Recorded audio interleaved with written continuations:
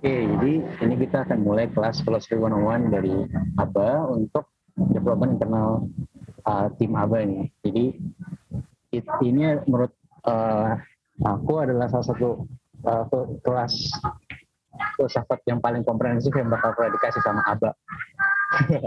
Karena ini kita uh, boleh next nih.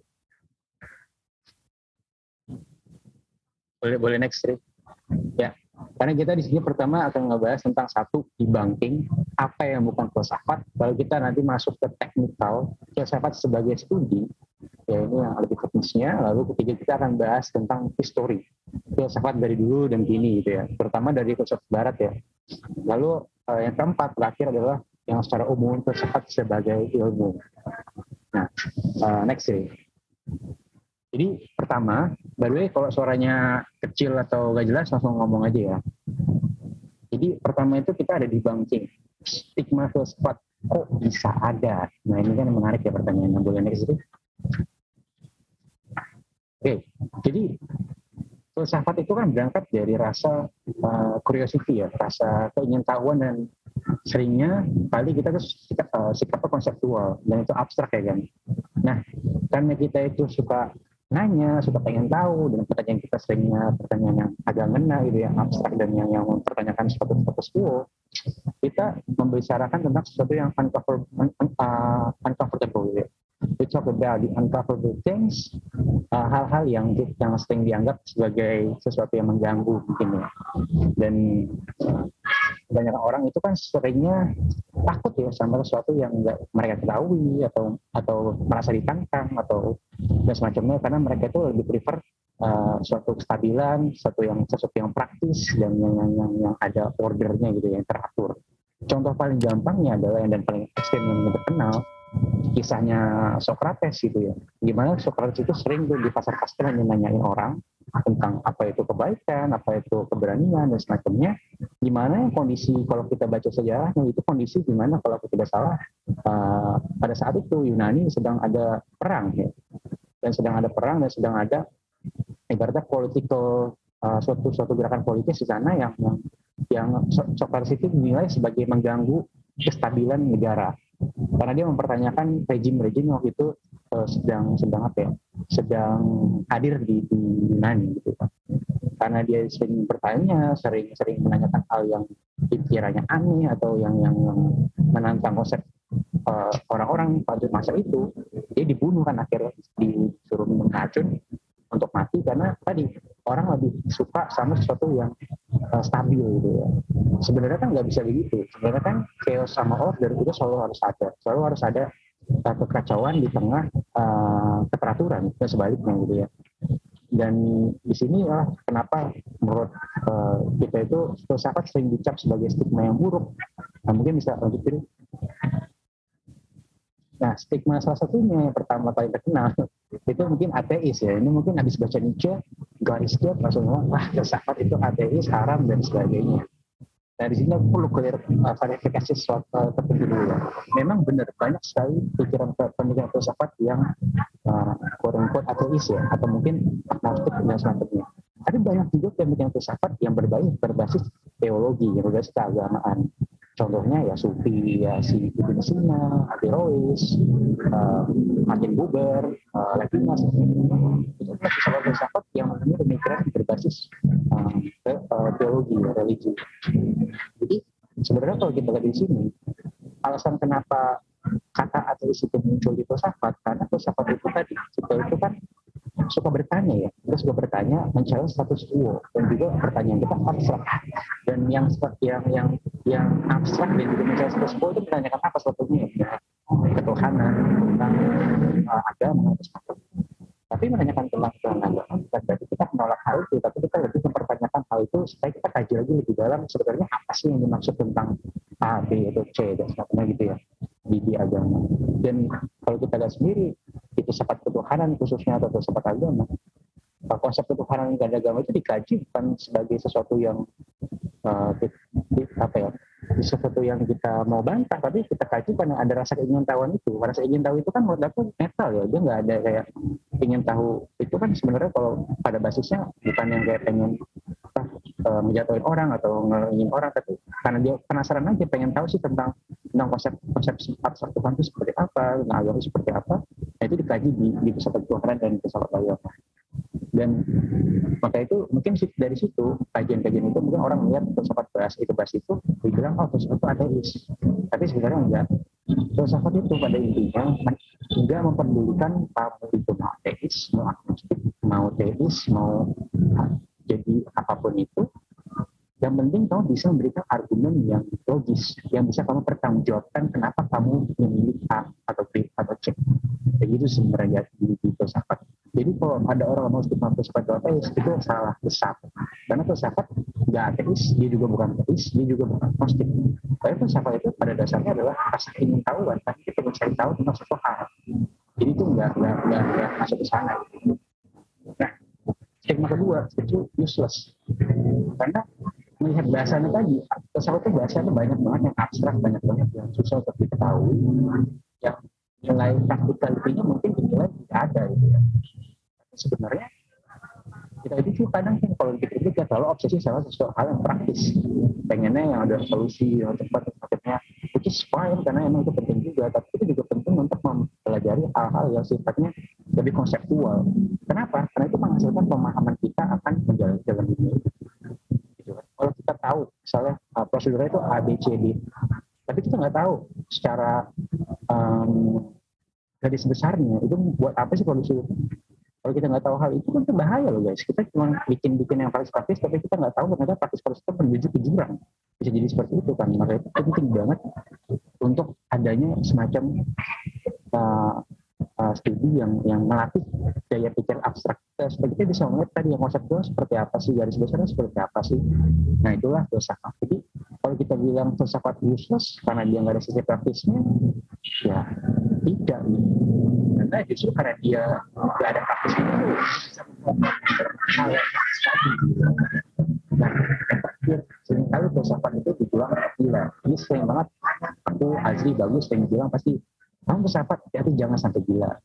Mau dari siapa banyak banget orang-orang ngomong kayak gitu ke kami masih maba dan semacamnya. Tapi karena karena di oh, bukan kita semua masih sedikit gila gitu. uh, tapi selain dari itu ya sebenarnya ini nggak masuk akal menurut aku dan sesuatu yang lucu. Karena kalau definisi gila yang mungkin yang paling sederhana atau yang kita kita agak sederhana adalah itu kan orang yang yang tidak mampu untuk menerima keadaan realitanya sehingga dia tidak berpikir tidak bisa berpikir secara rasional gitu kan kita bisa mungkin bisa bisa definisikan secara simpel seperti itu ya. Sedangkan filsafat itu adalah studi yang sangat mengedepankan rasionalitas dan pemikiran yang logis. Karena filsafat itu adalah senam pikiran juga dia melatih pikiran kita.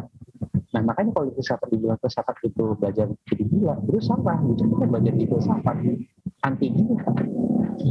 Karena kita dipaksa untuk berpikir terus untuk memikirkan hal yang ABC dari berbagai macam perspektif itu bisa kita ampun dan bisa kita uh, lagi-lagi tadi kita menghasilkan pemahaman kita. Jadi sebenarnya ini enggak, enggak ini sebuah sebuah stigma yang lucu kalau menurut aku karena filsafat itu jauh sekali dari kata gila yang kalau kita definisikan tadi gila ya orang tidak bisa berpikir secara rasional. Karena karena kalau kamu nggak bisa berpikir secara rasional kamu nggak akan bisa berfilsafat. Dalam artian ya kamu bukan berfilsafat kamu mengawang-awang aja gitu beda karena filsafat itu harus bertanggung jawabkan harus ada uh, pertanggungjawaban yang kamu kamu berikan atas kenapa kamu memilih uh, berargumen A atau B atau C gitu. kurang lebih kayak gitu ya untuk contoh stigma filsafat ya dan itu dibandingin nah, itu yang boleh next sih jadi aku ngomong kecepatan nggak Uh, buat aku sih enggak kak. Oke okay, oke. Okay. Kalau kecepatan aman, atau aman. itu ngomong aja ya. Kita ngerep soal kalau ngomong. Okay, yang kedua itu secara teknis dan I have to say this is uh, mungkin salah satu yang cukup berat ya dari filsafat. um, pertama, filsafat dan sains. Kan filsafat sama sains sering banget di uh, hubung-hubungkan kan. Sering dibilang filsafat itu adalah mother of science. Apakah benar? Ya, benar ada benar. Karena baik filsafat dan sains itu sama-sama awal ya mencari kebenaran dan pengetahuan, mencari uh, sisi discovery dari suatu hal gitu ya kita. Namun lama kelamaan sains itu nge-take over uh, sisi discovery tadi misalnya apa itu di take over sama sains. Kenapa? Karena subject matter, subject, subject matter itu kita bisa gampang bilang adalah semacam kajian ya. objek yang dikaji, gitu ya, suatu hal yang dikaji sama studi, uh, sains itu lebih spesifik. Sedangkan uh, filsafat itu abstrak tadi. Gampang gini, kalau misalnya kita ngomongin tentang ilmu pengetahuan biologi, jelas kan yang dikaji itu tentang biologi. Mungkin tentang apa ibaratnya tubuh manusia atau semacamnya ya. Tapi kok di filsafat ya mau kaji biologi bisa, mau kaji yang lain juga bisa gitu kan abstrak banget filsafatnya uh, subjek maternya kayak gitu. Maka itu di sini uh, sisi sisi discovery tadi apa sama sains karena sains bisa memberikan jawaban yang lebih spesifik. Begitu bro nah pertanyaannya kalau kayak gitu apakah filsafat telah mati sebagai studi? Nah ini jawab, jawabannya sih sebenarnya tidak ya. Uh, tidak masih hidup. Filsafat masih hidup. Kok bisa karena filsafat memiliki orientasi atau goal yang berbeda dari sains. Di filsafat itu menjawab pertanyaan perennial question, pertanyaan yang abadi. Paling gampangnya adalah siapa saya? Ini mungkin paling semua orang pada tahu pertanyaan ini. Ya, siapa saya? Saya dari zaman dulu sampai sekarang. Ya, itu tanya if akan siapa saya. Benar kan? Jadi jawabannya menjawab siapa saya itu. Kayak itu banget banyak banget diperdebatkan. Oh itu itu pertanyaan yang abadi dan inilah yang pertanyaan yang berusaha filsafat jawab gitu loh. Kenapa? Karena filsafat punya metode yang memberikan klaim teoritis dan demonstratif. Begitu. Jadi metode filsafat itu berbeda sama saya. Nanti ini aku jelasin lebih dalam lagi ya di selanjutnya. Tapi dia itu memberikan klaim yang sifatnya teoritis dan demonstratif. Dan ini berbeda sama sains yang sifatnya lebih eksplanatif dijelaskan. Nah, ini masuknya ke metode eksplanatoris sama eksplanatoris. Maksudnya apa tuh?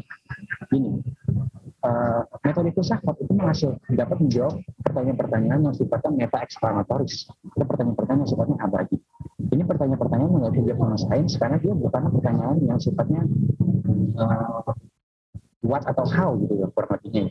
Kalau saya kan bisa menjelaskan uh, suatu semacam uh, alasan kenapa ini terjadi misalnya tapi di sini bukan kenapanya gitu. Tapi di sini adalah mendemonstrasikannya bahwa uh, suatu hal itu uh, uh, bisa ada gitu nah itu di sini eksplanatoris sendiri itu melampaui sisi eksplanatoris sedangkan itu tadi sisi yang yang membahas tentang uh, kenapa sih ini bisa terjadi dan sebagainya. Gampangnya itu adalah kalau eksplanasi ya eksploratoris itu menjelaskan uh, bagaimana hal itu terjadi. Misalnya kamu punya jam, jamnya mati gitu ya. Bagaimana jam itu sebelum bisa mati? Misal baterainya habis. Uh, baterai yang habis itu kan menjelaskan bagaimana jam itu mati. Jadi sisi yang eksplanatif. Tapi kalau misalnya uh, demonstratif, itu mendemonstrasikan bahwa kenyataannya jam tangan itu sudah mati misalnya dikarenakan baterai yang uh, dikarenakan baterai yang yang tersebut sudah habis, maka dapat disimpulkan bahwa jam tangan kamu itu sudah mati. Jadi ini semacam uh, bahwa kenyataan itu kayak uh, menjelaskan what the thing is gampang mungkin aku mengambil gitu ya. Gitu. Lalu uh, cuman di sini sebenarnya meta eksplanatoris dan itu saling melengkapi jadi sains dan filsafat itu saling sama lain. Karena uh, filsafat itu bergerak sebagai second order disiplin. Apa itu second order disiplin? Itu adalah studi yang dapat mengkaji uh, ilmu-ilmu lain supaya ilmu itu tetap di pada jalur ya gampang kayak gitu. Misal gini, kalau misalnya ada ilmu uh, ilmu misalnya gini, ilmu ekonomi itu tidak akan lagi mempertanyakan asumsi dasarnya dia. Ya kan? Asumsi dasarnya misalnya adalah uh, homo economicus, manusia itu adalah makhluk berekonomi.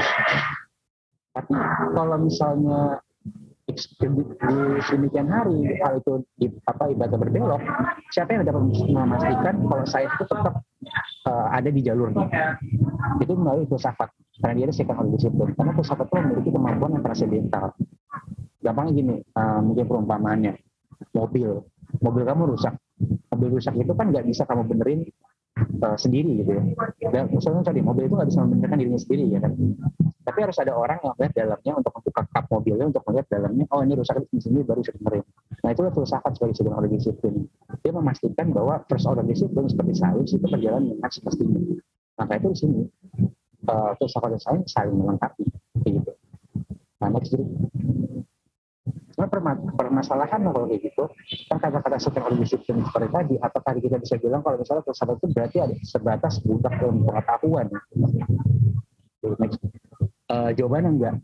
Uh, tapi ini sebenarnya bisa didispute lagi, bisa diperdebatkan lagi karena nggak ada jawaban yang yang yang kan menurut aku masih banyak perdebatan lagi. Cuman menurut yang uh, aku dan Azrin bagus pikir adalah uh, no, itu enggak. Pesawat bukanlah budak dari sains karena pesawat masih memiliki karakteristik studi yang unik bagi diri sendiri misal logika atau metafisika dan antropologi dan juga etika. Itu satu studi yang menurut aku sangat kental terutama di di meta uh, di etika dan ontologi itu yang kental banget unsur um, meta eksploratoris ya di mana kita harus mendemonstrasikan, sesuatu bukan sisi yang di mana kita mengeksplorasikan sesuatu baru itu beda karena coba dibayangin, gimana kalau bisa mendemonstrasikan konsep kayak Tuhan dan semacam itu kan susah buat kita dem uh, sorry mengasihkan konsep itu kan susah kan kita jelasin. Kalau pakai sains kan sains itu berbasis banget eksponasi dari sesuatu yang empiris kan. Jadi kan susah banget kalau kita mau eksponasi konsep yang abstrak seperti Tuhan dan semacam tapi di itu bisa tapi modelnya bukan eksplorasi tapi demonstrasi. Gitu ya. Kan bahwa bahwa Tuhan ada seperti ini seperti ini seperti ini. Dengan itu dengan hubungan yang logis. Dan di sini filsafat juga menghasilkan pemahaman. Tadi aku sempat mention juga sebelumnya, kalau misalnya filsafat itu adalah bidang yang memang bukan praktis gitu ya, tapi dia memberikan sesuatu yang konseptual sehingga itu memberikan suatu uh, pemahaman bagi kita dan pemahaman itu penting tadi kan kalau kita nggak paham kenapa kita melakukan sesuatu kita lakuin lakuin aja yang praktis tadi kita bisa aja kejebur gitu kan tapi dengan ada pemahaman kita bisa melihat gambaran besar seperti apa gitu. nah Lalu kejembatan menjadi disiplinnya. Filsafat itu karena dia itu sifatnya adalah um, subjek matter luas gitu ya, kajiannya luas. Tidak aja kajian yang satu. Itu bisa jadi jembatan yang multidisipliner dalam artian filsafat bisa banget mengkaji tadi uh, disiplin-disiplin lain seperti sejarah, ekonomi, uh, hukum dan semacamnya. Maka kan ada filsafat hukum, filsafat ekonomi, filsafat, uh, filsafat dan lain-lain lah tentang, tentang disiplin lain gitu ya.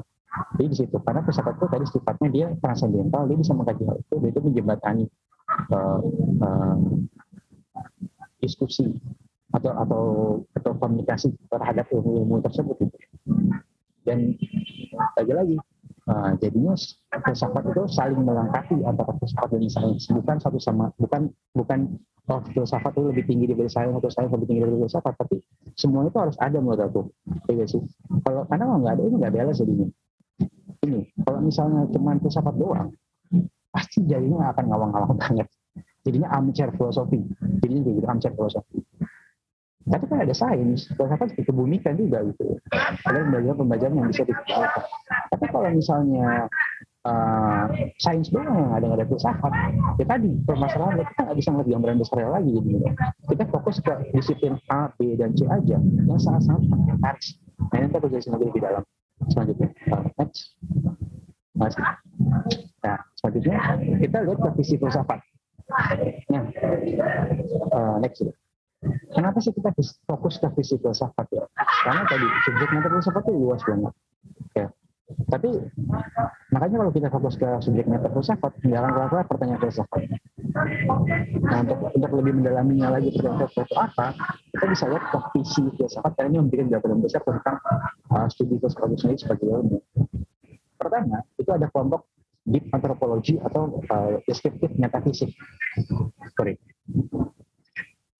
ini gimana kita membahas sesuatu yang konseptual dan teoritis. Konsepnya itu dia mencari tentang realita dan kebenaran.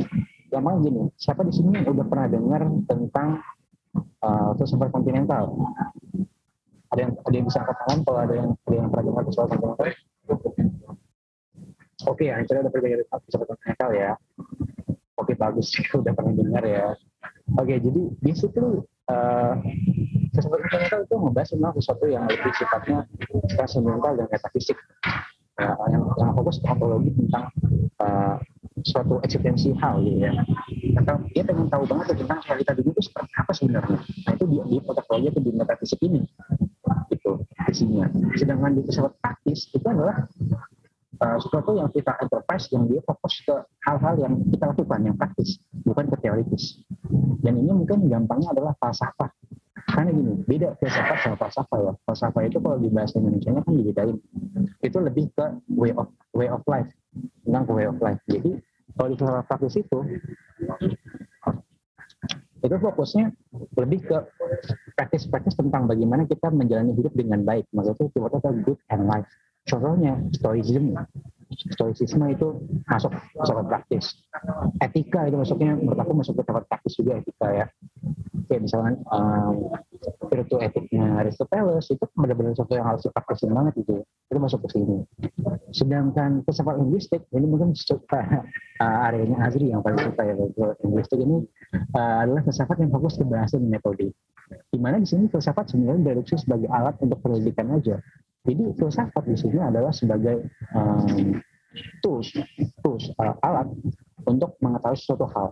Gitu. Jadi dia fokusnya lebih ke relasi logis, tentang logika dan semacamnya untuk untuk untuk membongkar tentang tentang hal yang dikaji. Kurang lebih kayak gitu ya. Terus itu sampai sini. Next itu dari tiga visi tersebut di antropologi terus uh, praktis dan juga linguistik itu bisa dibagi lagi di dua aspek filsafat ya sebenarnya kita aspek besarnya ada aspek wisdom sama aspek teknis nah wisdom adalah sintetis skill life dan truth yang bisa kita hayati sifat bisa kita lakukan sedangkan teknis ini yang dipelajari di akademis kita lebih rigoris tentang metode filsafat tentang visi filsafat dan semacamnya dan ini semua bukan kamu belajar cuma wisdom wisdom doang teknis doang yang lebih baik itu belajarnya adalah tadi integrasi politik. Supaya kamu bisa memahami dengan dengan lebih besar uh, sebenarnya itu apa sih filsafat itu? Loh kayak gitu ya kurang lebihnya. Jadi yang kita pelajarin sekarang ini itu memang secara teknis jatuhnya di teknis tadi ya dipelajari secara rigoris tentang hmm, metode filsafat seperti apa visinya seperti apa orientasi seperti apa sebagainya gitu kalau kamu udah menguasai ini, kamu akan bisa juga pasti ke wisdomnya akan lebih enak juga. Kurang lebih gitu ya. Boleh next jadi. Nah, di sini kita masuk ke metode filsafat. Ini pada masih bangun kan? masih tinggal tinggalan ya, agak cepat kan ngomongnya. Oke, aman ya, aman ya. Oke, oke. Jadi metode filsafat itu muncul dari akar kata uh, meta sama hodos, artinya melampaui dan jalan dan metode itu sendiri adalah uh, prosedur untuk mencapai sesuatu. Jadi metode filsafat adalah prosedur yang terkendali, langkah spesifik untuk pendidikan filsafat. Kayak gitu ya kurang lebihnya kawan-kawan. Jadi ini sifatnya sangat-sangat teknis dan prosedural untuk membatasi ruang filsafat. Jadi supaya kita bisa ngomong itu nggak cuma uh, saya enak jidat kita aja mau ngomong oh filsafat itu bla bla bla tapi filsafat itu kita harus ada prosedurnya juga metodenya juga dalam berfilsafat. Karena kalau nggak ada metodenya ya kamu retorika itu namanya retorika gitu. Sophistry kalau bahasanya itu itu retorika. Jadi kayak gitu ya. Nah atau filsafat ini kalau sains metodenya tadi ya itu menciptakan ekspanasi yang dilakukan seperti sedangkan filsafat terus metodenya menghasilkan sesuatu yang konseptual dan konsistensi. Apa maksudnya? Gampang gini. Dia menghasilkan suatu teori kerangka teori. Uh, semua ilmu memang kita bisa back itu ke filsafat. Karena filsafat itu memberikan landasan teoritis aksiomanya. Aksioma itu semacam uh, klaim utama dari sebuah, sebuah ilmu. Misalnya tadi ya, klaim utama ekonomi adalah homo economicus. Kalau klaim itu diulangin, ya akan ada ekonomi dong, gitu lah. Homo, homo economicus itu siapa yang bentuk? Itu filsafat. Itu kan kajian filsafat. Setelah itu udah kaji filsafat, itu ada teori besarnya, barulah itu dituruninnya sama sains, kan? dijalankan sama sains. Jadi orang lebih begitu. Ya. Jadi filsafat itu menghasilkan konsistensi dalam artian untuk memberikan teori, teori besar supaya bisa jalan uh, sains itu bisa jalan juga, gitu ya. Pengetahuan bisa jalan, kurang lebih kayak gitu. Boleh next gitu. Nah, tapi apa sih perbedaan metode filsafat dan sains ya? Nah, jadi ini ini yang yang aku bikinnya adalah semacam uh, timeline ya bukan timeline ya, proses gimana sih dia itu menghasilkan suatu uh, metode ya jadi metode filsafat itu menghasilkan konsep. Lalu menghasilkan demonstrasi. Bisa demonstrasikan tadi kan konsepnya itu kan bukan eksploratif tapi demonstrasi. Itu pembuktian yang konsisten dan tidak bisa dibantah secara logis. Jadi itu harus ketat. Dan ini sifatnya holistik. Tadi ya kalau teori itu. Partikular banget itu gak akan bisa berkembang. Kalau misalnya ibaratnya spesifik banget teori itu itu gak akan bisa berkembang. Teori itu harus sifatnya holistik bisa mencakup seluruh luas. Nanti baru spesifiknya sama uh, praktis-praktis jadi sains kurang lebih gitu ya sedangkan metode ilmu pengetahuan itu menghasilkan fungsi. Ada practicality di situ ada ada praktisnya di situ. Misalnya fungsi uh, lagi-lagi contohnya ekonomi itu bisa untuk menjelaskan misalnya sistem ekonomi um, manusia gitu. Itu berarti menjelaskan lagi-lagi ada eksplanasi tapi di tempat fragmentaris ya kan? Penjelasan ekonomi nggak mungkin kita bisa pakai untuk penjelasan psikologi. Ya gak sih ya kan. Kalau kita mau lompat ke sana harus ada filsafatnya maka itu dia ada second order of disiplin tadi. Filsafat sebagai jembatan multidisipliner bisa baru masuk ke sana. Kayak gitu kurang lebihnya nah dan mana metode yang paling benar? Di filsafat kan metode sains kan sebenarnya nggak ada yang benar atau salah. Karena metode itu nggak punya nilai intrinsik atau nilai yang bisa kita klaim benar atau salah dia itu dinilainya berhasil atau nggak berhasil metode ini. Kalau dia nggak berhasil, berarti kamu ganti metode. Kalau metode ini berhasil, berarti kamu teruskan metode itu. Lebih kayak gitu untuk metode ini. Uh, next. Dan dari metode tadi, kita bisa turunin juga dua dimensi karya filsafat. Jadi setiap metode filsafat karya filsafat itu harus ada, ada harus ada dimensi naratif dan estimasi kebenaran. Maksudnya kayak gini, naratif itu adalah sesuatu yang koheren. Jadi filsafat itu harus banget koheren dan harus juga masuk akal possibility. Gampang gini, kalau kamu bikin suatu argumen, kamu ngejelasin misalnya uh, A adalah B. Kamu jelasin A adalah B itu kan kalau kamu jelasin A atau B itu kamu lompat-lompat, ibaratnya dari A ke Z dulu, ke C dulu, baru ke B. Ya masuk akal dong, kayak gak sih? Lompat-lompat itu. Tapi, uh, tapi kalau misalnya kamu langsung coba untuk lurusin dari A langsung ke B, argumen kamu, narasinya kamu kamu bisa terusin, itu kan lebih koheren dan lebih masuk akal. Nah di prinsip harus kayak gitu. Kalau karya filsafat kamu ngomong ke mana-mana, itu karya filsafat yang bagus uh, secara secara metodologis gitu. Dan eh, harus ada estimasi kebenaran juga. Dalam artian ya teori teori atau konsep kamu itu harus bisa di klasifikasi gampang harus bisa dibantah. Harus bisa ada ada ada kamu harus menyatakan suatu klaim kebenaran gitu. Kalau kamu ngomong panjang lebar nggak ada klaim kebenaran nah buat apa kamu ngomong, ngomong panjang lebar? Nggak ada nggak ada intinya gitu. Kan berarti gitu. ya jadi harus ada substansi intinya juga gitu. Supaya bisa apa? Supaya bisa nanti ada dialektika ada dialogis uh, yang bisa merespon tanggapan kamu karena filsafat itu kan seperti dialektika juga. Ya nanti ini mungkin jelasin lanjut sama bagus. Uh, next Oke, nah sekarang kita masuk ke tipologi filsafat penelitian filsafat. Apa saja jenis penelitian filsafat, lalu bagaimana itu bisa digunakan. Pertanyaan uh, pertama itu adalah pertanyaan orientasi yang menurut penting.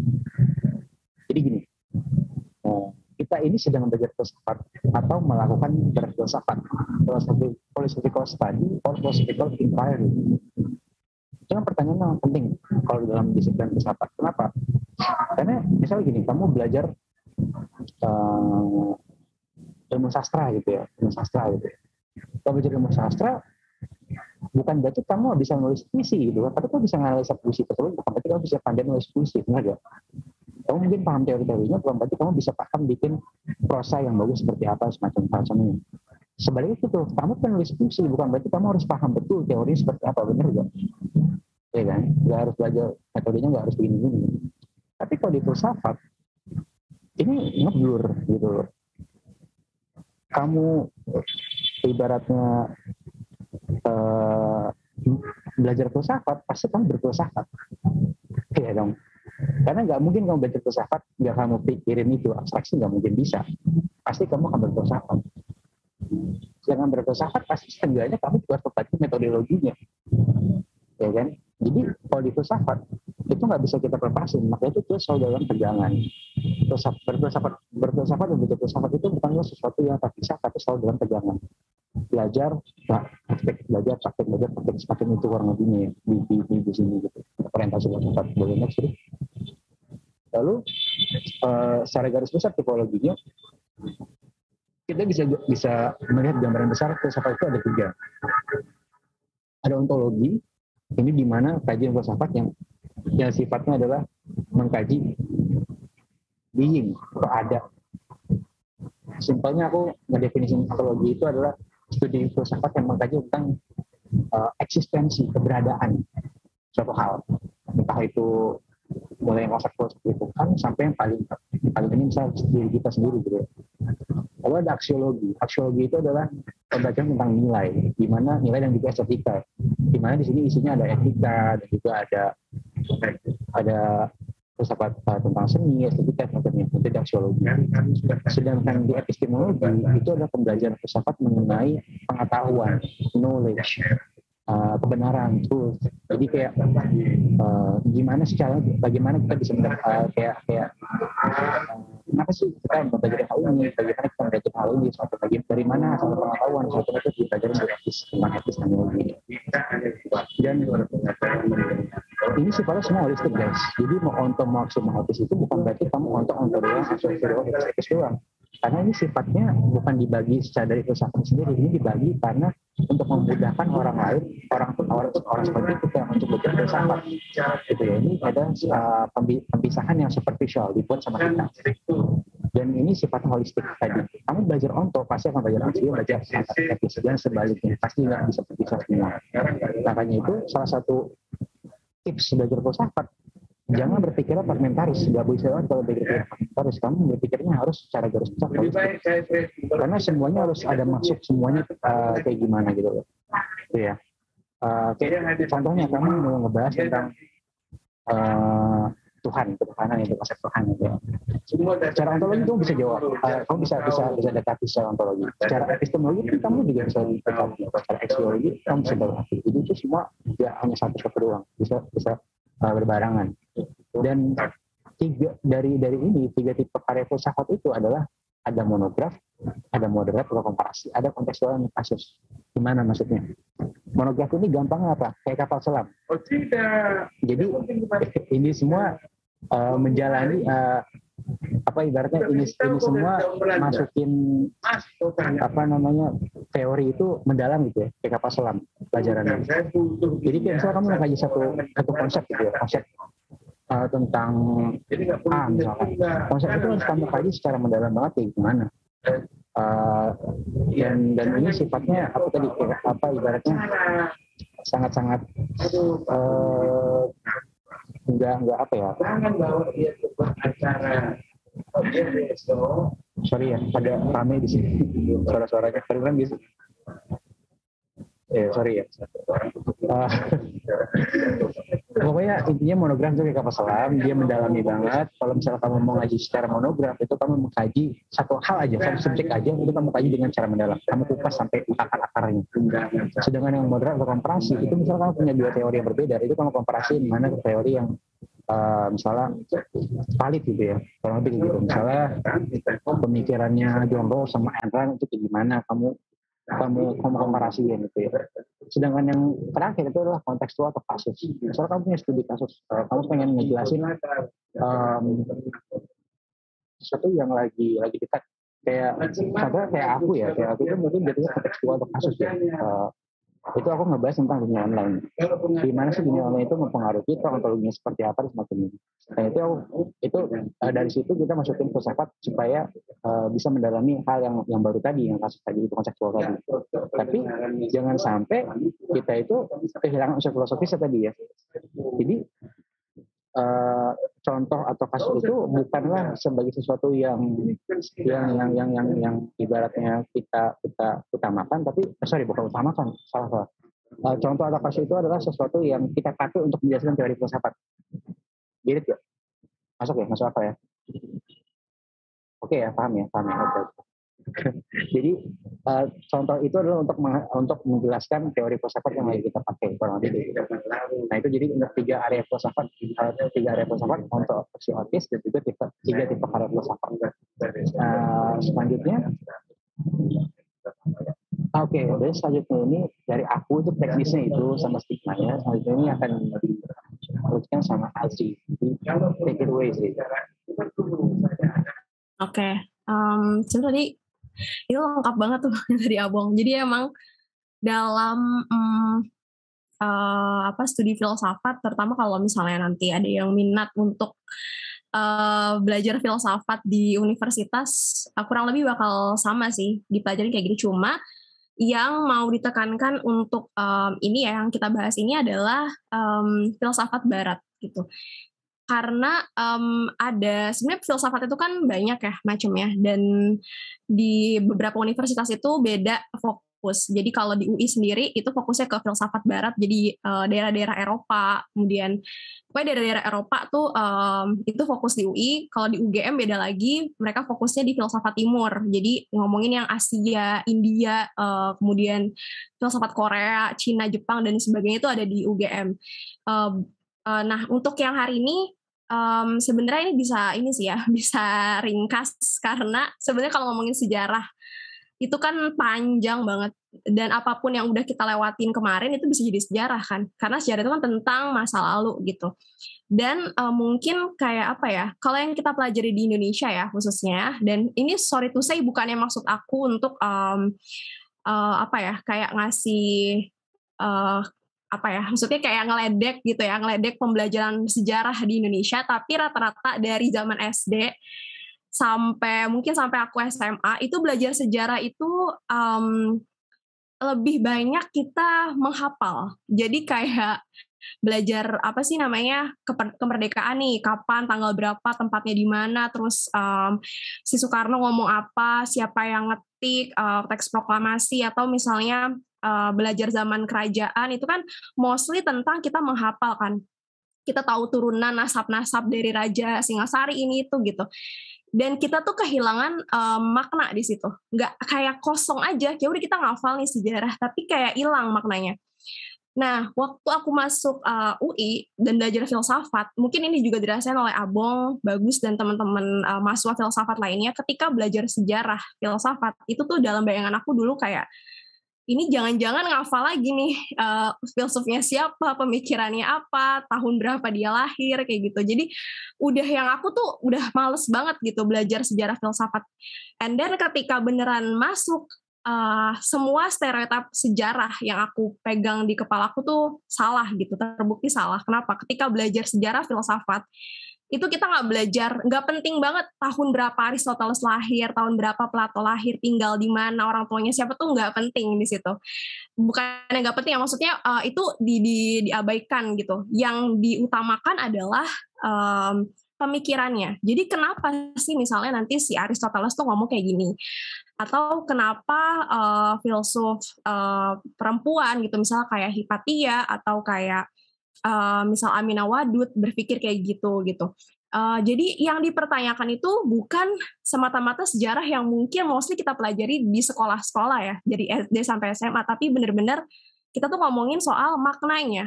Kenapa sih kok bisa muncul pemikiran ini? Apa fungsi uh, mereka berpikir kayak gitu?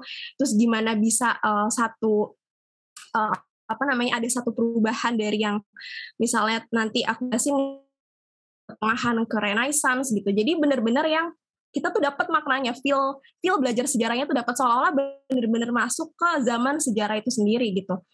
Nah, untuk yang filsafat Barat itu ada empat di sini um, apa namanya masaknya. Jadi ada dari yang Yunani kuno, uh, dari uh, zaman apa namanya di Greek filosofi ya. Jadi benar-benar Yunani zaman kuno tahun uh, seratusan uh, masehi gitu bahkan sebelum masehi kemudian uh, masuk ke filsafat abad pertengahan uh, kemudian lagi ke modern sama ke kontemporer. Nah di empat masa ini itu tuh menariknya adalah uh, punya karakteristiknya masing-masing dan bakal ngerasa kita tuh kayak lagi bener-bener jalan di suatu apa ya jadi suatu masa yang beda-beda. Jadi di Yunani kuno dapat gambarannya di abad pertengahan dapat gambarannya kayak gitu.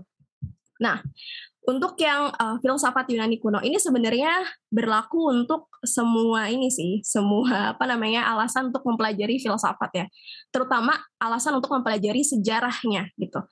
Kalau untuk yang Yunani kuno sendiri, kenapa sih kok kita harus mempelajari pemikiran orang-orang jadul gitu kan?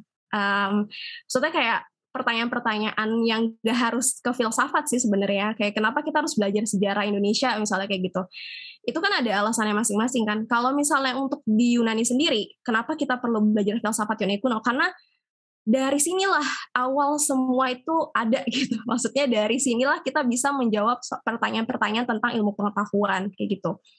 Um, maksudnya kan di zaman Yunani itu kan dulu sebelum adanya pengetahuan mereka kan pakai mitos kan. Kenapa misalnya di langit tuh ada petir oh dewa lagi perang nih gitu kan. Uh, penjelasan masyarakatnya masih pakai mitos. Atau misalnya kenapa di langit mendung karena dewanya ada yang lagi sedih kayak gitu.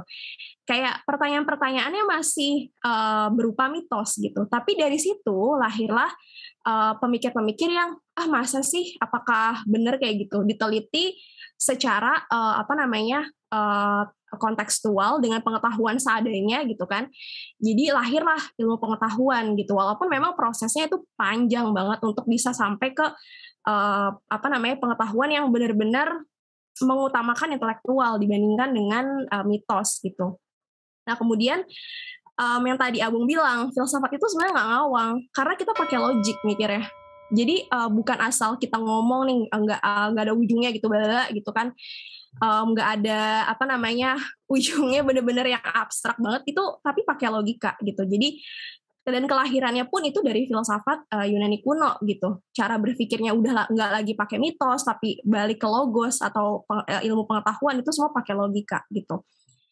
Nah um, kemudian yang tadi uh, sebenarnya nyambung poin satu sama tiga ya karena uh, si Yunani kuno ini bukan apa ya bukan sesuatu yang udahlah nggak penting nggak usah dipelajarin gitu. Ngapain sih belajar orang-orang jadul gitu kan nggak ada manfaatnya. Sebenarnya manfaatnya itu adalah dia tuh jadi tolak ukur gitu jadi titik uh, balik kenapa sih kita bisa ada di zaman sekarang dengan banyak pemikiran? Kayak misalnya uh, pemikiran politik kayak atau ekonomi sosial budaya itu semua awalnya kan dari pemikiran-pemikiran lama gitu. Pergerakan tadi dari mitos ke uh, logos gitu.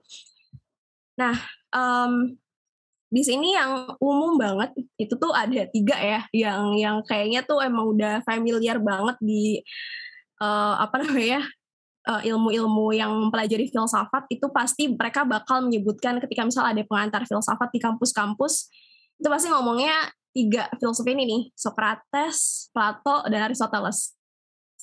Pasti uh, apa namanya ngomongnya ini. Dan memang uh, in mereka adalah uh, tiga filsuf besar pada zaman itu. Tapi sebenarnya mereka itu ada um, setelah didahului oleh filsuf-filsuf yang lebih uh, senior dalam tanda kutip ya, maksudnya lebih um, apa namanya uh, memunculkan filsafat terlebih dahulu gitu dibandingkan mereka. Mereka ini sejujurnya adalah penerus gitu dari pemikir-pemikir uh, zaman dulu. Misalnya ada satu filsuf yang katanya dia adalah uh, perintis kemunculan filsafat namanya Thales ya.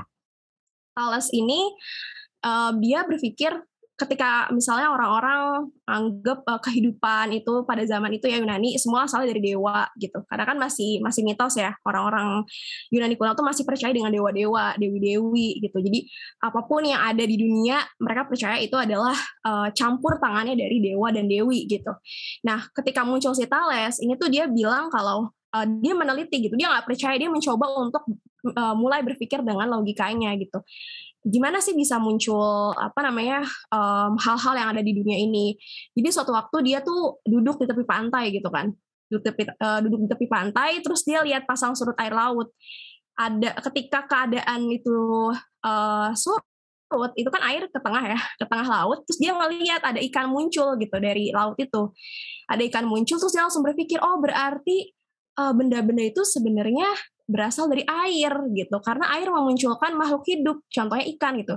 Terus dia mengamati benda-benda lain yang membutuhkan air kayak misalnya tumbuhan yang nggak bisa hidup tanpa air manusia pun nggak bisa hidup tanpa air. Terus dia akhirnya punya uh, pemikiran bahwa oh berarti semua hal itu munculnya dari air. Nah dari situlah mulai adanya pergeseran dari yang tadinya mitos semua uh, adalah campur tangan dewa dan dewi bergeser ke logos ke ilmu pengetahuan gitu. Nah dari pemikiran yang jadul ini kan um, mulai muncul kayak pemikirannya Pitagoras mulai mempertanyakan alam semesta terus kemudian ada yang uh, Empedokles dia berbicara soal uh, unsur di muka bumi itu ada empat ada air api uh, bumi eh tanah ya tanah sama udara. Itu kan kayak avatar tuh. Avatar tuh sebenarnya pemikirannya dari dari zaman Yunani kuno gitu. Ada empat elemen dan itu dikembangkan hingga akhirnya uh, balik kepada uh, ini Socrates, Plato dan Aristoteles gitu. Nah, kemudian ada um, ini tadi yang kedua udah ya. Uh, nah kemudian dibagi dalam beberapa fase. Nah tadi yang aku sebutin uh, Thales itu kan yang pertama kali um, yang desas-desusnya adalah orang yang pertama kali memunculkan filsafat itu masuknya ke zaman prasokratik. Jadi uh, jauh sebelum adanya Sokrates. Kemudian masuk ke masa Sokratik, ini masanya Sokrates ya, yang mulai orientasinya bukan ke alam semesta gitu, mulai kayak balik ke diri sendiri. Makanya ada pertanyaan-pertanyaan saat itu, gue itu siapa sih gitu? Siapa aku gitu kan? Makanya uh, Sokrates ini untuk mempertanyakan dirinya, untuk dapat jawaban, dia tuh berusaha untuk um, pengen banget dapetin jawaban buat dirinya sendiri. Makanya dia suka keliling pasar. Tadi abang udah bilang ya, Socrates itu tuh kerjanya keliling-keliling pasar. Keliling doang nggak beli, keliling tapi uh, sambil nanya-nanya gitu. Kayak misalnya dia uh, nanya nih ke tukang jualan, eh um, apa namanya, uh, lo tau gak sih berani itu apa sih gitu kan? Nanya berani, berani itu apa gitu. Terus dijawab misal sama orang, oh berani itu nggak takut apa-apa. Oh berarti kalau lo eh, kecebur jurang itu maksudnya lo mau dibilang uh, berani, tapi lo harus kecebur jurang gitu misalnya. Terus orang mulai berpikir enggak berani tuh enggak kayak gitu tuh mana ne namanya nekat gitu. Terus akhirnya dia mempertanyakan lagi kan berani sama nekat berarti beda. Terus nekat itu artinya apa? Jadi itu kayak apa ya? Yang dia lakukan itu adalah sebenarnya bukan untuk um, apa sih namanya bukan untuk nguji orang itu bego tuh gitu. Masa jawabannya kayak gitu? Enggak. Dia tuh justru kayak melatih orang untuk keluarin argumennya gitu. Dan di situ menariknya ya menariknya adalah dia tuh um, uh, apa namanya mempertanyakan hal-hal yang sebenarnya tuh mungkin kalau kita pikir ngapain sih kurang kerjaan kan nanya-nanya kayak gitu? Gitu. Tapi pada akhirnya yang Socrates ajarkan itu adalah oh ternyata tuh semakin kita banyak tahu semakin kita tuh nggak tahu apa-apa Kerasa nggak sih kalau kalian baca buku nih, baca buku apa pun deh, misalnya baca novel kayak atau baca buku-buku kampus, misalnya buku-buku sekolah, semakin kita banyak baca, semakin kita tuh ngerasa, eh gue nggak tahu apa-apa ya ternyata. Ternyata sedangkal itu apa yang kita tahu gitu. Nah di sinilah muncul istilah filosofia. Filo uh, cinta, sofia kebijaksanaan. Cinta kebijaksanaan yang artinya uh, cinta kebiasaan tuh kita tahu kalau kita tuh sebenarnya nggak tahu apa-apa. Oleh karenanya kita belajar untuk uh, agar terus tahu kayak gitu. Nah itu di uh, zaman Socrates. Nah di sisinya Plato sama Aristoteles, Socrates ini tuh uh, kayak apa ya? Kalau bisa dibilang guru besarnya nih, guru besarnya si dua filsuf ini gitu. Guru besarnya Plato dan Aristoteles. Tapi memang ada cerita yang mengatakan kalau Socrates itu punya murid namanya Plato. Nah, tapi sayangnya memang pada zaman itu karya-karyanya Socrates itu tidak di apa ya, tidak dipublikasikan gitu. Maksudnya tidak ditulis karena um, mungkin belum ada teknologi untuk yang apa yang mencatat itu kali ya. Jadi Plato tuh um, bersaksi kalau dia tuh mendengar sendiri apa yang dikatakan oleh gurunya si Socrates ini gitu. Tapi ada juga yang bilang kalau Plato ini atau si Socrates ini soalnya Socrates ini tuh fiksi gitu. Jadi cuma apa ya cuma kayak digambarin ada tokoh sesempurna Socrates gitu kan uh, yang buat itu si Plato gitu. Tapi um, itu masih jadi perdebatan sih. Intinya um, kita ambil uh, sisi yang menggambarkan kalau si Socrates ini adalah gurunya Plato gitu. Jadi benar-benar yang Plato itu dapat ilmu banyak dari si Socrates dan dia akhirnya ngediriin satu um, sekolah gitu namanya akademia. Sekolah ini tuh menarik ya karena biasanya kan kalau di sekolah-sekolah di kita tuh um, ya udah guru ceramah terus anak-anaknya dengerin uh, apa namanya ngerjain tugas, bikin PR gitu kan. Atau misalnya ya udah kayak bener-bener satu arah gitu. Tapi kalau di akademianya Plato jangan berharap satu arah kuliahnya atau sekolahnya ya, tapi dua arah gurunya punya argumen, si um, muridnya harus berargumen gitu. Jadi boleh tuh saling salak menyalak gitu tuh antara si guru sama murid itu menariknya ketika zaman itu gitu. Nah terus Aristoteles um, ini adalah muridnya Plato. Jadi Socrates, Plato, terus Aristoteles gitu. Jadi dia tiga generasi itu. Cuma yang menariknya adalah memang Aristoteles sama Plato itu mereka saling bertentangan sih. Mereka saling kayak apa ya? Plato tuh mikir A, uh, Aristoteles mikir B. Jadi mereka tuh walaupun guru sama murid tapi punya pemikiran yang beda gitu. Sam, uh, aku bakal uh, apa namanya mungkin bercerita lebih lanjut ya soalnya cukup uh, komprehensif kalau mempelajari dua dua tokoh ini gitu. Masa Helenisme sama masa Romawi kuno. Nah ini mulai ada keruntuhan nih, keruntuhan zaman Yunani dan nanti mulai masuk ke zaman abad pertengahan gitu. Oke. Okay. Nah, ini tadi uh, udah ya. Mungkin aku bisa next aja Nah, sekarang ke filsafat abad pertengahan. Kalau tadi udah ke Yuni, um, ketika mulai runtuh, masuk ke zaman abad pertengahan. Di zaman abad pertengahan ini kayaknya mungkin sering dengar istilah Dark Ages ya, zaman kegelapan gitu. Di mana katanya um, banyak banget uh, apa namanya kayak pertentangan-pertentangan yang mengatasnamakan gereja atau pokoknya yang uh, basis uh, basicnya adalah agama gitu. Nah kalau tadi stigma orang-orang filsafat itu adalah ateis ya. Sejujurnya justru sangat-sangat ateis nih kalau kita mau lihat di zaman ini gitu. Karena zaman ini pemikiran filsafatnya itu dia adalah jadi satu atau campur dengan pemikiran uh, gereja gitu. Jadi kayak Alkitab uh, di situ tuh diadu pemikiran dengan pemikiran filsafat dan bahkan banyak filsuf yang mereka tuh benar-benar pemuka agama, tapi mereka filsuf gitu. Jadi ya bukan ateis kan, justru mereka teis yang taat banget gitu. Uh, berlangsungnya tuh cukup lama, jadi kurang lebih seribu tahun ya, seribu tahun. Sementara kalau Yunani kan enggak enggak enggak nyampe seribu tahun. Abad pertengahannya adalah masa yang paling lama, seribu tahun dengan terkungkungnya di dalam pemikiran um, agama gitu. Jadi um, dipengaruhi banget sama uh, Kristianitas gitu. Nah, toko-toko yang terkenal di sini yang mungkin nanti kalian bak, uh, ini yang yang rekomend sih untuk dibaca lebih lanjut karyanya. Ada Agustinus, Thomas Aquinas, uh, Botius, dan bahkan ada filsuf-filsuf dari uh, apa namanya um, Arab ya, dari Arab kayak Ibnu Sina sampai Ibn Rushd itu mereka pemikir filsafat Islam, tapi pada saat itu memang karena uh, nuansanya kan nuansa agamis ya pada saat abad pertengahan, jadi uh, Kristianitas fix uh, mix uh, dengan uh, filsafat Islam gitu. Jadi di sini ada pemikiran yang saling meminjam gitu dan saling melengkapi. Jadi di barat itu siapa, terus kemudian si Ibn Sina baca literatur-literatur uh, dari Yunani kuno, kemudian dia coba untuk um, apa namanya compare dengan para pemikir di zaman uh, di zaman itu kayak Agustinus kayak gitu-gitu. Jadi uh, sebenarnya kalau kita lihat tuh ada memang ada kadang di dalam pemikiran sejarah ya gitu. Sebenarnya sebenarnya mereka saling nyatu sih. Oke. okay. Nah, di sini apa sih yang um, yang dipelajari di dalam filsafat abad pertengahan gitu? Terutama ketika kita belajar sejarahnya. Nah, um, ketika nanti mungkin teman-teman yang uh, tertarik buat lebih lanjut belajar filsafat abad pertengahan, itu kalian bakal nemuin mostly dari uh, apa namanya filsufnya itu berupaya untuk membuktiin keberadaan Tuhan gitu. Jadi tujuan mereka berfilsafat itu sebenarnya adalah untuk mengungkap isi dari Alkitab yang mana itu tuh pengen uh, ngebuktiin satu uh, hal yaitu Tuhan. Jadi benar-benar ini tuh um, apa ya? Benar-benar teologis banget lah. Intinya mereka pengen ngebuktiin kalau Tuhan tuh ada loh. Cuma caranya beda-beda. Jadi setiap filsuf punya caranya masing-masing. Kayak misalnya contohnya Agustinus. Dia tuh um, cara dia mencari Tuhan dengan berfilsafat secara etis. Jadi dia tuh dulu orangnya glamor, suka buang-buang duit, foya-foya. Um, pokoknya bener-bener yang mungkin kalau kita bilang istilahnya maksiat ya banyak maksiatnya dari dia tuh. Terus dia nemu uh, di mana ketika dia tuh dapat bencana gitu, dapat bencana, tapi setelah dapat bencana dia dapat hikmah. Nah, terus dia mulai berpikir tuh, oh um, siapa yang menciptakan semua ini gitu kan? pasti ada nih yang mem, mem, apa, menciptakan uh, suatu musibah, tapi di balik musibah itu ada kebaikan. Terus akhirnya dia nemu satu titik Tuhan gitu. Jadi ada cara gimana sih gue tuh pengen nih ngebuktiin ke orang-orang kalau Tuhan tuh ada gitu.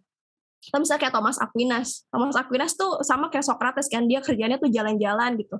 Terus dia ngelihat kayak benda-benda di sekelilingnya dia, uh, akhirnya dia bilang kalau, oh Tuhan tuh uh, gampang kok cara kita tahunya. Kita lihat aja nih semua benda-benda yang eksis dengan adanya benda-benda yang hadir di depan kita ini yang menunjukkan kalau ini adalah uh, bukti dari keberadaan Tuhan gitu. Karena siapa yang menciptakan semua ini gitu kan. Jadi kalau misalnya kayak pertanyaan Big Bang itu misalnya kayak ledakan alam semesta itu ada, kok bisa ya kan dulu kan nothing, kok tiba-tiba jadi ada gitu. Nah itu ditarik sama filsuf abad pertengahan oh ini Tuhan gitu yang menciptakan jadi mostly emang ngomonginnya keberadaan Tuhan gitu dan kalau misalnya ada pemikiran yang bertentangan sama uh, pemikiran gereja jadi gitu ya. Jadi kayak misalnya contohnya contoh cepatnya adalah kalau pernah dengar istilah geosentrisme sama heliocentrisme pasti pernah dengar ya. Jadi kalau geosentrisme kan mikirnya uh, pusat dari tata surya kan bumi tuh. Nah di situ pada zaman itu ya um, Alkitab itu memang uh, berbicara bahwa uh, bumi itu diam sementara um, alam semesta itu bergerak gitu. Matahari Venus Saturnus itu bergerak gitu. Nah jadi um, yang saat itu diakui adalah pada zaman itu adalah geosentrisme di abad pertengahan. Ketika itu muncul satu filsuf yang um, bernama Copernicus nih di situ. Dia dia ngerasa tuh janggal nggak pemikiran geosentrisnya uh, geosentrisnya tuh janggal gitu. Akhirnya dia meneliti selama 16 tahun dia meneliti akhirnya dia mengatakan kalau oh enggak. Yang benar itu adalah matahari sebagai pusat tata surya. Nah dari sini nih muncul konflik. Dibilangnya adalah bahwa Copernicus itu mengkhianati uh, ajaran gereja gitu. Karena ajaran gereja adalah geosentrisme sementara Copernicus tuh seolah-olah berusaha untuk membantah itu gitu. Jadi um, Kopernikus dikatakan sebagai pengkhianat gereja. Artinya siapa pun yang punya pengetahuan dengan me, apa namanya uh, menentang uh, ajaran gereja ya udah berarti dia udah pengkhianat gitu. Pada saat itu sih seperti itu kurang lebihnya. Nah dari sini akhirnya kita tahu kan bahwa um, apa sih yang lagi diomongin di abad pertengahan yang beda dengan uh, Yunani kuno? Bukan lagi soal asal usul. Tapi gimana caranya kita tuh pikiran yang um, dari yang um, ada dengan yang nggak ada gitu. Mana yang muncul duluan? Kayak kita ngedebatin mana telur mana ayam kan? Mana yang duluan antar telur sama ayam? Nah di zaman abad pertengahan pun sama gitu. Jadi mana yang ada nih? Um, yang empiris kah? Atau yang nggak kelihatan gitu. Jadi itu yang yang dipertanyakan di sini. Nah terus karena selama seribu tahun itu benar-benar masyarakat tuh terkungkung dengan pemikiran uh, uh, benar-benar apa ya mengabaikan individualitas gitu, mengabaikan uh, kodrat manusia sebagai uh, apa namanya entitas yang punya intelektual. Nah akhirnya di zaman ini nih namanya Renaissance, jadi mulai ada zaman Renaissance pencerahan ya di mana mulai ada pemberontakan gitu. Enggak dong, um, pokoknya abad pertengahan itu terlalu me, apa ya? Kalau bisa kita bisa bilang mengambil hak asasi manusia gitu, karena uh, memaksakan manusia untuk selalu tunduk sama otoritas gereja. Padahal manusia itu punya kebebasan. Nah, di sinilah akhirnya mulai muncul uh, kesadaran akan subjek. Kalau manusia itu punya hak untuk berpikir, kemudian manusia punya hak untuk me melakukan kritik. Dan sini mulai ada kemajuan-kemajuan. Dan akhirnya uh, terjadi pemberontakan besar-besaran terhadap ajaran gereja. Mulai deh, mulai masa abad pertengahan itu berubah jadi pencerahan. Akhirnya uh, udah nggak uh, ada lagi yang um, apa namanya uh, ketika berpikir terus nanti di, uh, dibilang pengkhianat kayak gitu. Nah, di sini yang makanya disebut sebagai gerakan humanisme. Gerakan humanisme ini yang uh, apa namanya mengakui rasio ya. Jadi kayak bener-bener logika manusia bukan pakai dogma agama gitu. Bener-bener yang udah balik lagi kepada hasrat intelektual, bukan kepada Alkitab gitu. Nah, uh, di sini yang diperkuat sama tadi kan udah tuh pemikiran Kopernikus, tapi di sini ada pembuktian lebih lanjut sama Galileo Galilei setelah ditemukan teleskop ternyata benar kan uh, heliocentrisme bukan geosentrisme gitu. Jadi paradigmanya tuh berubah dari yang seribu tahun megang geosentris langsung berbalik ke heliocentris gitu. Akhirnya udah deh dari sini mulai berkembangnya ilmu pengetahuan. Jadi mulai adanya scientific research, ada ya observasi, eksperimentasi kayak gitu. Nah, ini tokoh-tokohnya nanti mungkin bisa di ini ya. Ini semua menarik sih dan semua tujuannya sama. Kayak mereka meng, uh, mau mengutamakan si ini pure reason atau yang kita sebut sebagai logic gitu. Nah, ini yang terakhir ada filsafat kontemporer. Jadi yang kontemporer itu lebih maju lagi dibanding si modern. Di sini pemikirannya udah mulai deep banget ya, udah mulai di apa ya, diaplikasin ke semua bidang kehidupan. Di kayak ada apa namanya, mulai pakai matematika lebih dalam lagi. Jadi matematika itu sebenarnya menyenangkan ya.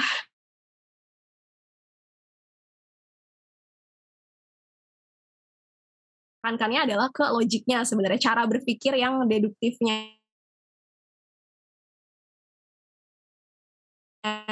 gitu. Nah, mulai tadi ada perselisihan antara filsafat analitik dan kontinental. Tadi Abang udah sempat mention ya, filsufnya nanti bisa di ini ya kalau misalnya ada yang so ini uh, cukup apa ya menarik sih kalau yang Wittgenstein sama Alfred Julius Ayer ini dia mostly berpikir soal hal-hal yang bisa dikatakan benar atau salah itu yang kelihatan. Jadi kalau misalnya kita ngomongin Tuhan atau misalnya ngomongin baik dan buruk, ngomongin indah tidak indah itu tuh nggak bisa diobservasi benar atau salahnya karena nggak kelihatan karena itu abstrak jadi mereka ini uh, berpikirnya kalau ketika ngomongin Tuhan mereka nggak mau ngomong karena itu nggak bisa di ngomongin nggak kelihatan gitu terus sementara yang uh, Heidegger kayak gitu um, dia tuh ngomongin hakikat diri ya jadi being gimana kita ini sebenarnya yang jago abung sama bagus sih aku nggak terlalu mendalami Heidegger Uh, terus misalnya ada Jane Baudrillard atau Baudrillard. Baudrillard tuh dia ngomongin soal konsumerisme. Gimana sih kita kayak misalnya zaman sekarang nih lalu um, apa namanya terjebak dengan Shopee Pay Later yang justru kayak di potongan-potongan, diskon-diskon gitu tuh nanti dibahas banget di zaman kontemporer. Jadi bener-bener yang komprehensif banget sih zaman ini. Nah, um, kalau uh, tadi um, apa namanya kayaknya rusuh banget kan di uh, Yunani terus sampai modern tuh rusuh emang keadaannya karena ada bener-bener peralihan yang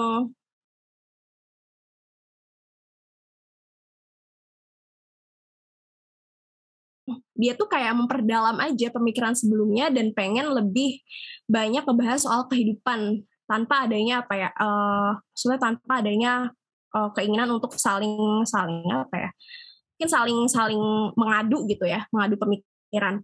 Tapi intinya um, yang mau dibicarain uh, lebih banyak soal bahasa. Maksudnya bukan bukan susastra ya mungkin lebih tepatnya kayak permasalahan yang ada di dunia ini tuh mungkin karena kita tuh nggak ngerti bahasanya aja gitu. Misalnya kayak uh, kita mau ngomong sama kita punya, punya idola orang Korea gitu.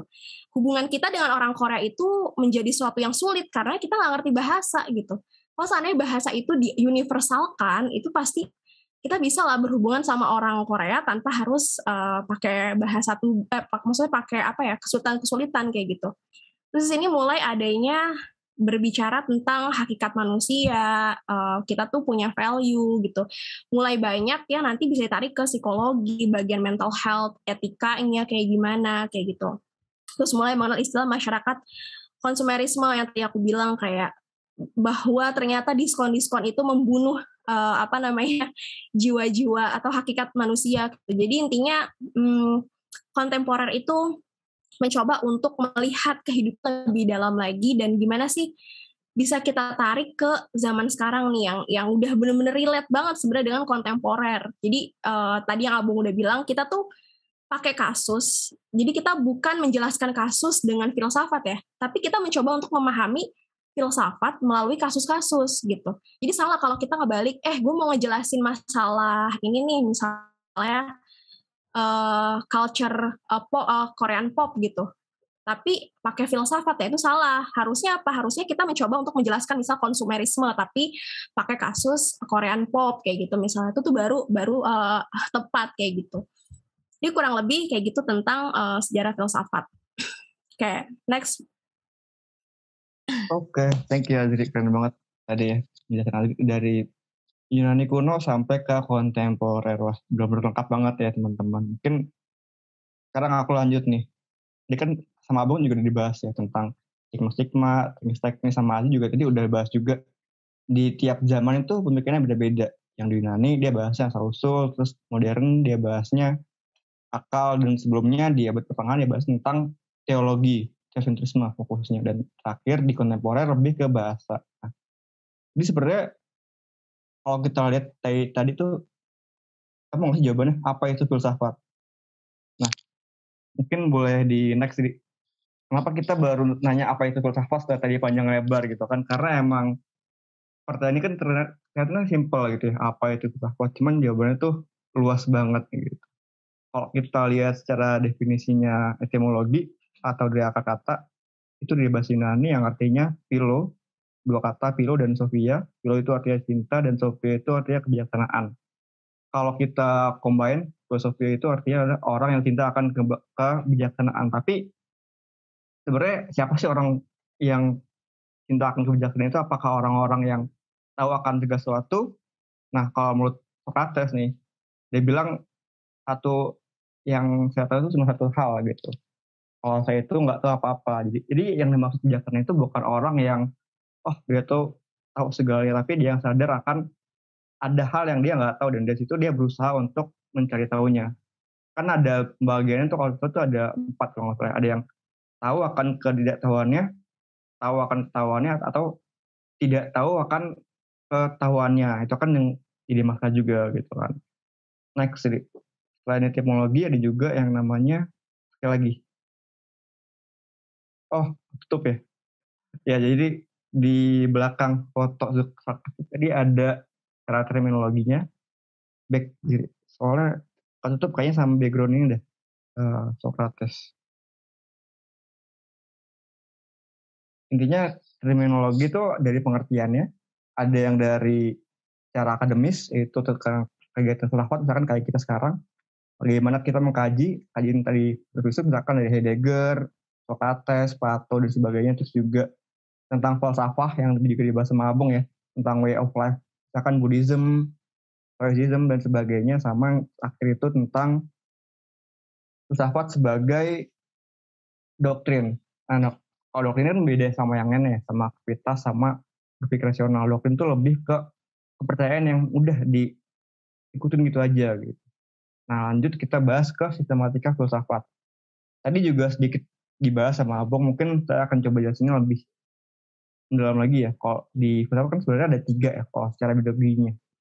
Untuk pembagian ini digunakan biar kita tuh lebih apa ya lebih gampang untuk belajarnya kan dia kan lihat banyak banget ya tadi jelasin sama Azri kan di oh di di jalan kuno tuh bahasnya asal usul terus di abad tangan tiba-tiba aku bahasnya teologi gitu kan bahasa esensi sama hmm, eksistensi gitu kan terus juga di modern bahasnya lebih ke logika dan di terakhir lebih ke bahasa dan lebih ke seni juga. Kalau kita berarti wah ini sangat beragam sekali gitu kan uh, pemikiran di filsafat. Nah kalau kita lihat sebenarnya itu ada tiga intinya ada ontologi, aksiologi, sama epistemologi.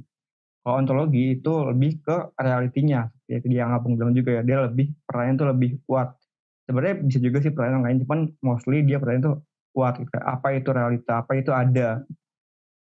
Misalkan apa itu politik, apa itu apa itu keindahan dan sebagainya. Terus juga misalkan di aksiologi itu tentang nilai. Di Anda pertanyaan itu lebih ke bagaimana, akan bagaimana kita menjalani hidup yang baik. Bagaimana kita melakukan tindakan yang etis. Dan juga ada epistemologi yang kajiannya itu lebih ke pengetahuan dan biasanya ya di sini tuh pertanyaannya lebih ke mengapa dan nggak sekedar mengapai tapi maksudnya ke mengapa tentang pengetahuan bagaimana kita mengetahui misalkan bagaimana saya mengetahui misalkan di depan saya ini adalah uh, objek yang real atau sebagainya. Dan bagaimana misalkan sejauh mana kita bisa mengetahui. Misalkan apakah ada batas pengetahuan atau mungkin karakteristik ilmu pengetahuan itu seperti apa gitu kan. Mengapa mengapa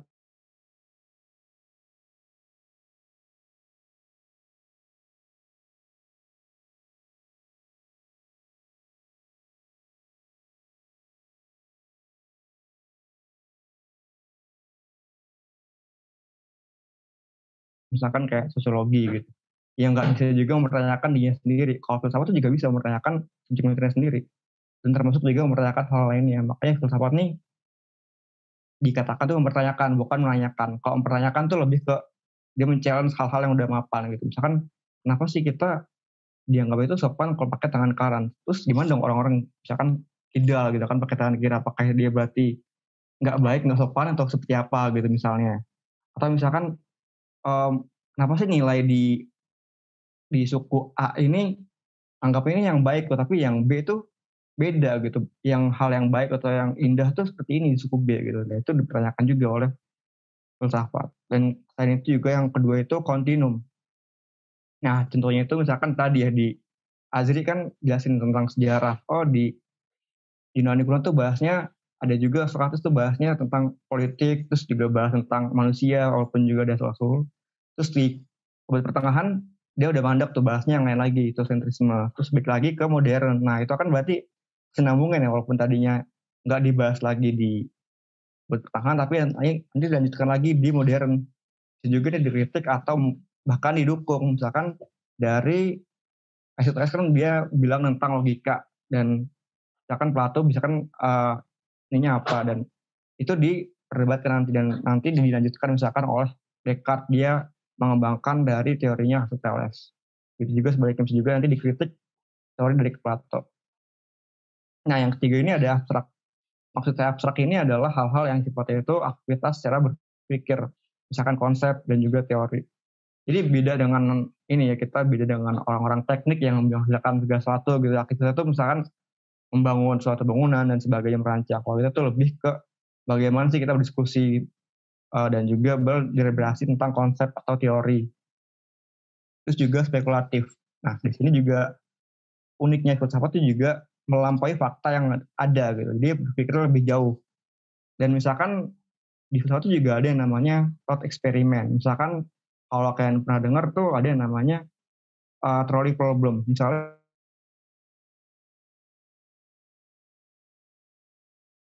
di A ini dia ada enam orang yang berada di atas rel itu. Dengan di jalur B itu ada satu orang. Dan aslinya tadi kan kereta kan harusnya ke jalur, jalur A ya, yang isinya enam orang. Nah, kamu gimana gitu kan posisinya gitu? Apakah dengan ada ruas yang bisa kamu ubah jalurnya itu akan kamu pindah jalurnya ke jalur B yang lebih sedikit atau tetap biarin aja karena awalnya kan di jalur A. Nah itu sih filsafat juga berusaha untuk spekulatif gitu kan melampaui fakta yang ada. Dia berusaha untuk berimajinasi lagi dan melampaui hal-hal yang realitanya gitu. Karena ini nanti juga bisa membantu kita untuk berpikir lebih dalam lagi. Dan selain itu juga tetap rasional ya, walaupun tadi kan kita spekulatif, tapi jangan lupa juga kita ada pakemnya dan itu menggunakan akal pikiran kita gitu. Jangan sampai kita spekulatif tapi juga kita nggak logis itu kan bahaya juga ya kurang lebih gitu dan terakhir itu juga radikal ini kita berpikir secara mengakar mendalam sampai substansinya. Misalkan oh kenapa sih uh, terjadi misalkan politik gitu? Nanti dibahas sama John Locke, oh misalkan nanti juga bahas itu dari individunya begini loh dari manusianya. Nanti juga sebenarnya politik itu apa sih hakikatnya gitu kan? Itu kan dipertanyakan lagi.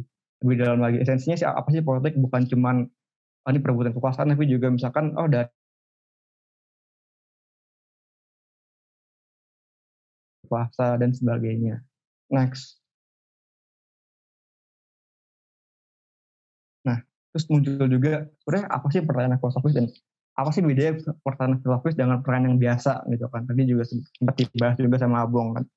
Sebenarnya pertanyaan filosofis itu pertanyaan yang meta eksplanatoris atau dia lebih susah dijawabnya dan butuh demonstrasi. Misalkan kalau tanya misalkan kenapa sih misalkan manusia itu misalkan hmm, bernafas dengan paru-paru kenapa nggak pakai insang kenapa beda gitu itu kan ya mudah gitu kan jawabannya itu karena morfologi manusia sama ikan kan beda. Kalau ikan kan pakainya hidupnya di air dan pakainya insang. Kalau manusia ya di uh, daratan ya pakainya paru-paru gitu kan. Tapi kalau perayaan misalkan mengapa saya ada dibandingkan tidak ada. Wah, itu kan langsung ini ya, langsung ngobrol otak kita kan langsung aduh ini apa gitu kan. Kan sangat susah dijawabnya. Apa itu kebaikan? Mungkin kita bilang oh kebaikan nih, tapi ya itu juga susah gitu pertanyaannya. Dalam arti ini kan hal yang universal tapi tiap orang tuh beda-beda gitu. Nggak akan pernah selesai gitu. Bayangkan versi A begini versi B begini gitu.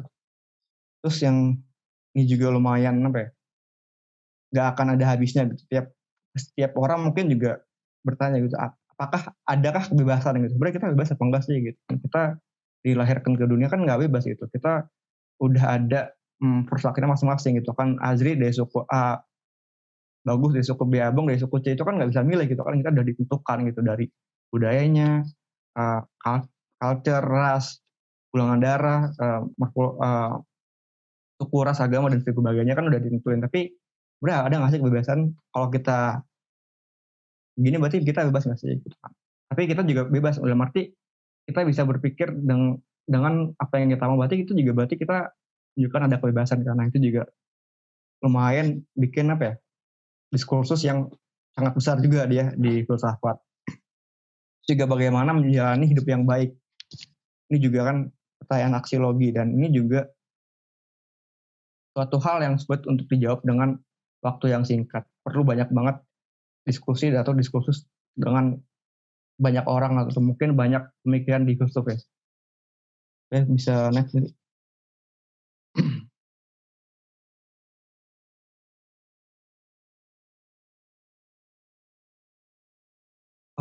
Selanjutnya filsafat sebagai ilmu. oh tadi uh, sama Bung udah dibahas sebagai studi, kita bahasnya lagi sebagai ilmu. Yang pertama itu sebagai mother of science. Tadi kan udah dijelasin juga ya sama Azri lewat uh, perantaranya itu sejarah gitu kan banyak banget nih pembahasannya mulai dari astronomi kan tadi kan ada heliocentrisme hmm, dari Republik, terus juga bahas juga tadi juga bahas tentang matematika, fisika dan sebagainya. Nah, itu sebenarnya awalnya itu dari filsafat gitu kan, ilmu politik juga kan di Republik Plato, psikologi juga sebenarnya psike itu dibahas juga oleh Plato. Terus matematika kan Pythagoras sebenarnya kan juga orang filsuf ya dan dia juga buat pemikiran tentang deret atau angka gitu kan. Numbers tuh sebenarnya juga ada loh pemikiran di filsafat itu kan. Itu juga berpengaruh nanti buat kita misalkan menghitung alam semesta terus juga fisika dan sebagainya jadi awalnya kan filsafat tuh emang ini induk segala ilmu pengetahuan terus tadi seperti yang abang bilang nah itu nanti dia memisahkan diri masing-masing menjadi sains menjadi ilmu ilmu yang mandiri seperti jadi, jadi ilmu politik fisika jadi psikologi matematika jadi ilmu yang mandiri juga fisika dan sebagainya terus yang kedua adalah ex filosofia claritas dari bahasa Latin yang artinya itu dari filsafat muncul perjernihan. Ini kan mungkin agak ini ya, loh. Tapi itu tadi agak ada spekulatif juga, agak ini juga. Tapi gimana kita nemuin kejernihannya? Kita nemuin kejernihan itu dari argumentasi dan juga radikal dalam mempertanyakannya. Karena kan di juga belajar tadi ya tentang logika, bagaimana kita membangun argumen yang baik, yang solid, dan bagaimana kita itu oke okay, kita boleh spekulatif, kita boleh misalkan hmm, berpikir jauh ke depan tapi jangan lupa juga kan rasional kan seperti yang tadi dibilang dan argumentasinya itu juga disusun dengan proposisi-proposisi yang kokoh gitu kan. Nggak cuman asal-asal aja. Dan selain itu juga radikal dalam mempertanyakan. Misalkan ketemu jawabannya ya kita nggak hanya puas gitu kan dengan jawaban itu juga gitu kan. Karena pada dasarnya di juga sebut kalau sosiologi kan punya tekan ini ya homo sosius gitu kan. Atau ekonomi punya homo economicus. Nah, kita juga ada namanya homo quaren. Homo quaren itu maksudnya manusia yang selalu mempertanyakan gitu kan, manusia selalu resah akan dirinya gitu. Dia nggak puas dengan jawabannya. Nah, itulah di sini filsafat tuh berusaha untuk mengucapkan kejernihan itu dengan cara filsafat tadi. Kalau kita berdiskusi, kita juga melakukan diskursus gitu kan, nggak cuman puas dengan jawaban tapi juga tadi di ini ya karakteristiknya itu open ended gitu kan selalu mempertanyakan selalu ada diskusi yang baru juga nanti sehingga kita nanti lebih dalam lagi dan kita bisa tahu jawabannya. Nah, jadi kenapa sih penting gitu kan untuk belajar filsafat gitu kan? Setelah tadi kita panjang lebar, ini berguna nggak sih filsafat gitu kan? Sebenarnya kalau boleh dirangkum ya, kurang lebih ada lima sih. Yang pertama itu kita jadi memahami bagaimana cara berpikir. Kita kan juga belajar cara berpikir ya, dari mulai logika, berpikir yang benar, teratur, dan juga sistematis gitu. Dan itu juga kita belajar namanya bias kognitif. Dan nanti juga di psikologi juga ada namanya bias kognitif dan sebagainya. Itu juga lumayan menarik misalkan ya bagaimana kecenderungan kita misalkan bias konfirmasi oh misalkan kita melihat awan nih oh bentuknya kayak beruang teddy bear ya padahal kan itu ya bentuknya random aja gitu kan uh, awannya tapi kita lihatnya oh itu kayak beruang teddy bear gitu kan lucu banget gitu. padahal ya itu itu aja gitu kan itu hal dalam kita yang perlu di hmm, dievaluasi lagi gitu kan dalam berpikir. Terus yang kedua itu adalah dapat praktikan kembali hal yang selama ini kita yakini. Kan tadi saya bilang ya, sahabat juga belajar bagaimana kita memahami juga hal-hal yang kita juga. Jangan sampai kita ya memang begitu saja gitu kan. Misalkan pun misalkan tadi kita misalkan uh, adalah orang yang taat beragama ya jadikanlah dengan filsafat itu ya gitu adalah justifikasi bahwasanya itu saya beragama itu ya secara secara misalkan ya secara salih tapi juga logis juga gitu kan. Itu bukan dua hal yang bertabrakan tapi juga bisa saling berkesinambungan sama dan saling mengokohkan. Terus juga yang ketiga adalah mengembangkan critical thinking dan tadi ya seperti di karakteristiknya juga. Dia itu radikal dan gak hanya berhenti misalkan dia ketemu jawabannya dia juga terus untuk menggalinya seperti apa lebih dalam lagi. Terus yang keempat dapat membangun dan menulis argumentasi yang solid. Dan tadi ya lagi-lagi kita kan hmm, mengajak kita untuk berpikir secara lebih terstruktur ya. Dan kita harus tahu bagaimana sih membangun argumen yang baik membangun logika yang baik sehingga nanti misalkan kita hmm, berdiskusi misalkan oh misalkan Abung nih uh, lebih dukung misalkan uh, pendapatnya David Hume. Kalau misalkan Azri lebih dukung K. Nah itu kan nanti lebih dini lagi lebih critical thinking lagi bagaimana sih untuk mengembangkannya. Terus yang itu yang membangun argumentasinya. Kan yang kelima terakhir yaitu memahami suatu fenomena secara lebih holistik lagi misalkan kayak fenomena yang sekarang ya kita juga nggak cuman lihat di satu sisi aja kan tadi kan sistematika filsafat juga kan ada uh, aksiologi, sama ontologi kan juga nggak terfragmentasi ya tapi juga saling holistik dia komprehensif. Dan dia kesinambungan gitu nggak hanya kalau uh, ontologi nggak hanya ontologi misalkan dari sisi misalkan feminisme mungkin kita lihat kalau feminisme kita masukin ke tadi sistematika itu masuknya mungkin kalau ke aksiologi tapi kalau kita lihat lagi ya sebenarnya feminisme juga lihat juga bagaimana sih pengetahuan itu bagaimana sih pengalaman wanita perempuan itu digunakan sebagai pengetahuan. Nantinya bisa jadi misalkan kebijakan publik. Itu kan masuk juga ke epistemologi dan juga nanti masuk ke ontologi juga. Nah itu sih. Makanya kita dengan belajar filsafat itu bisa melihat sesuatu itu secara lebih holistik. Udah jadi habis ya kira-kira Oke, okay, thank you guys. Okay. Makasih bagus Azri atas materinya. Jadi mungkin nomor 6 aku tambahin untuk memajukan ABA juga ya, penting gitu terus. Supaya kita jadi mendunia gitu kan. Oke, okay, um, sebelum kita mulai sesi pertanyaan, by the way suara aku kedengeran ya? Oke, okay, thank you. Kedengeran, Bang. Kedengeran. Uh, mungkin aku mau kasih overview dulu supaya kita refresh lagi untuk memasuki sesi pertanyaan. Jadi tadi di awal kita udah membahas mengenai uh, debunking ya stigma filsafat. Boleh boleh ke yang slide itu gak jadi yang ada empat empat itu.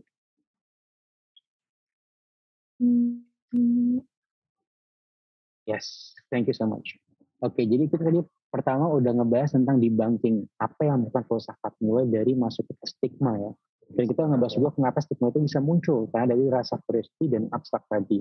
Dan juga kita membahas tentang stigma filsafat ya. Dan kita juga tadi udah ngebahas mengenai teknik sisi teknis dari filsafat sebagai studi mulai dari um, filsafat sebagai oleh disiplin, visi uh, visi filsafat, juga metode filsafat, perbedaan filsafat dengan sains, dan juga uh, kenapa filsafat itu masih hidup dan justru penting bagi bagi kehidupan kita dan bagi bagi sains juga gitu ya. Selanjutnya kita juga udah belajar sama Azri mengenai histori filsafat uh, filsafat dari dulu dan kini ya. Dan ini tadi kita udah ngebahas ya, mulai dari si Thales awal banget ya kan ketemu si Plato lalu ke filsafat awal pertahanan ke kontemporer selanjutnya dan kita disambung lagi tadi materi yang udah aku bawa um, bagus di lebih uh, kontekstualisasi lagi di filsafat sebagai ilmu di mana tadi kita udah ngeliat uh, tipologi filsafat juga ada ontologi, aksiologi, epistemologi lalu ada juga tentang uh, karakteristik filsafat. Ya tadi ada, ada enam ya filsafat. Ada juga pertanyaan-pertanyaan filosofis dan juga filsafat sebagai ilmu juga benefit filsafat itu apa? Nah itu dia untuk sedikit overview kelas filsafat. Menurut menurut aku ini kelas filsafat paling komprehensif dari ABA ya di filsafat ini. Karena kita ngebahas dari sisi cukup cukup cukup yang sangat luas ya dari sisi uh, stigma, dari sisi teknis, sisi story, sisi yang eh, secara overview general juga kita bahas.